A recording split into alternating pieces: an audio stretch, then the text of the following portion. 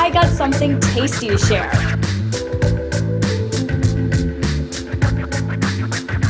I'll drink to that. I rarely buy seafood in the supermarket, and I don't know if it's just because of like a lot of this looks artificial.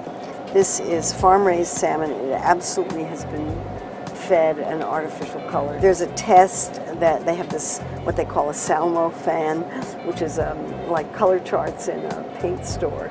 And they feed the salmon color granules until it comes out to the color that matches.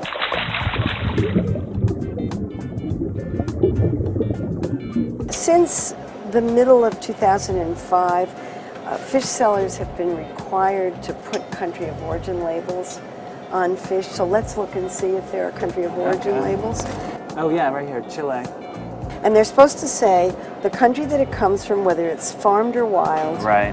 um, whether artificial color has been added.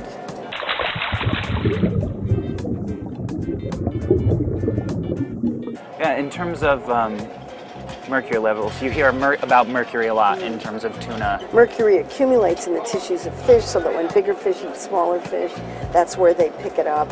And so there are really only four or five fish that are commonly eaten that are in that category.